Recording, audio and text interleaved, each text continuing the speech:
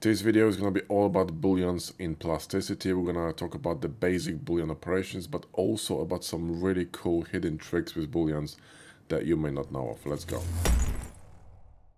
Now, if you're new to plasticity and you're a beginner or intermediate, we have a fantastic course for you, which is called Ultimate Guide to Plasticity. It's about 12 hours long and covers everything. You know, the UI, the tools, hard surface modeling course, which is in-depth. We're going to be modeling this fantastic sci-fi ship, including the interior.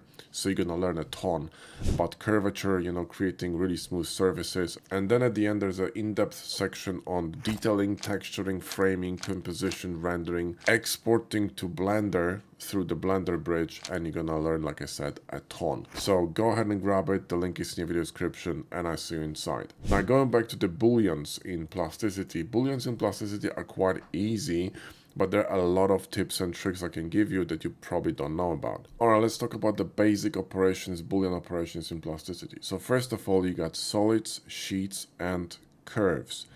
This is a solid, right? You also have sheets, and you have curves. You can cut anything. So you can boolean anything. You can boolean solids, you can boolean sheets, and you can boolean curves. You can also use solids, sheets, and curves as cutters. So it's a little bit different than in Blender, right? Now here, uh, let's just grab another cube here, another box. And I'm to show you a very basic difference boolean operation. Just like in Blender with box cutter, you see that it just simply cuts through and when you left click right click you confirm and there's your boolean. If you want to keep the cutter alive um, so you want to reuse the cutter you can do that and press T and then press left click right click and you're gonna have the same cut but you're gonna retain the cutter all right now during performing the boolean cut you can press shortcut keys like Q for solid boolean shift E for intersect then you also have W for uh, the um, difference boolean. You can see this on the on the bottom screen here, right? And and you can also press Shift Q for slice. So uh, if I left click, right click, you're gonna see that the operation will be performed, and then all we need to do is nuke this cutter here, and you got slice here, and you know the cube, right? So these are very basic operations with solids. Now, if you, for example, want to use sheets, you can do it too. Uh, well, let's just draw a sheet here. So let's grab this uh, plane here like that. Now if I'm going to um, patch this and right click to confirm, you can see we're gonna have a sheet. So I'm gonna press 2 to remove this curve and nuke it. And now we can press 4 um, and you can, for example, cut, uh, you know, this cube with this sheet. So the way you do that is you click on an object you want to cut, then you press C, then you select the cutter, and you can see there is a, there's kind of like a plane, red plane slicing through this cube, right? So I can confirm that and boom, there is your slice. And you can do the same thing with a curve. So watch, if I'm going to align here, press Shift A for this line curve, and I'm going to draw a curve here like this, and confirm, I can select the cube, so 4 for solids, select the cube, press C, select the cutter, right, right click, and you're good to go. The same goes for curves, for example. So if I'm going to remove this, and let's say I'm going to press 1 for points, I'm going to bevel this. And let's say I wanted to trim this, uh, you know, with another curve.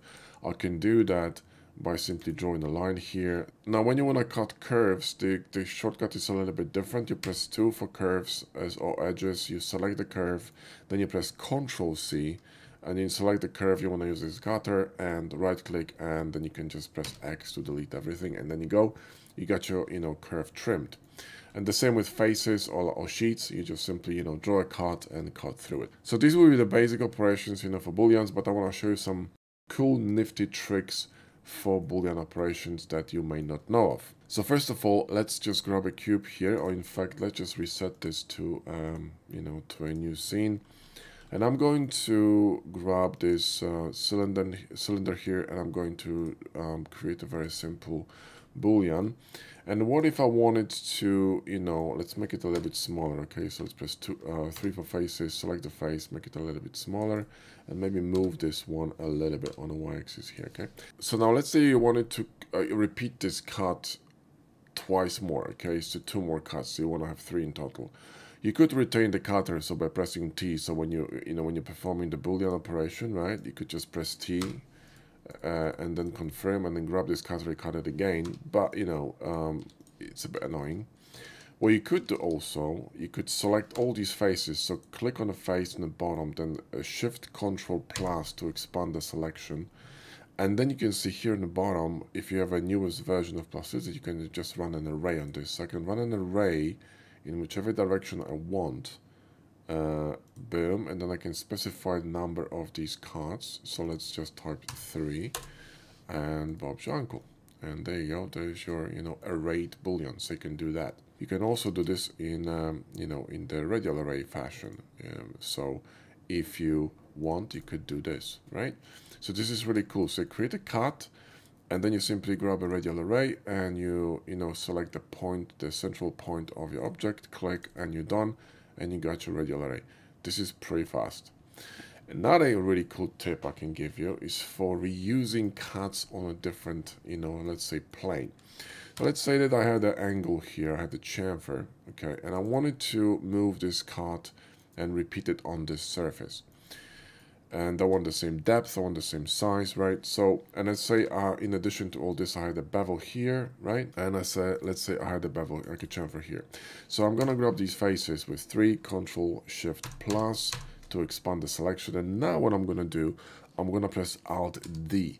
That will uh, basically take this cut, this boolean, fill it with mesh and invert it. So now what I have, right, if I move this, okay, so this is GZ, you see that it's just an inverted, it's literally a boolean cutter that's gonna create identical shape, right?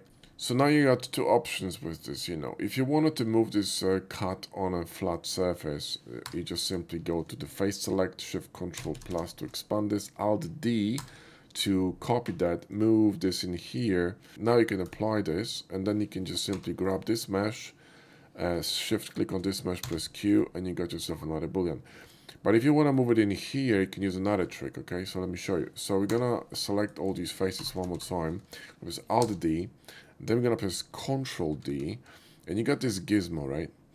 You wanna select the cutter here. So um, just run on top of this until it snaps to the middle point here, right? You click to grab this, you see, and I, I, I have it, and you move it to the surface here. See, it's aligning to the surface we, we want to drop it on.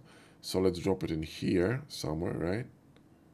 And then we can choose an operation, for example, W for difference. So press W, right click, and you get yourself a boolean. You can keep repeating that um, on you know as many times as you want you can do it here and right click or here and right click here and right click it's going to automatically align to uh, the face until you you know cancel the operation with escape so this is a really fast way of creating details on your mesh and sort of copying you know uh, existing existing shapes Another trick with booleans and cutting stuff is cutting multiple curves with one curve. So let's say you got this uh, curve here and we're going to array this to just make it, you know, quicker. And I wanted to, let's say, cut it with another curve that goes like this, okay?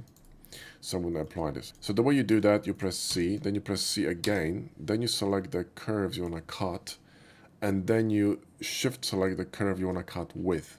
Then you confirm, and you see now I can delete these, and I'm gonna have this kind of like a wavy pattern, you know, cut through. Okay, well that's it for the video. Thanks for watching and like I said, check out our plasticity course. It's fantastic.